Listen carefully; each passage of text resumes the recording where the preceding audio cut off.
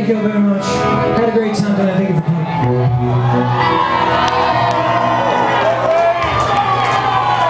To you, desperation.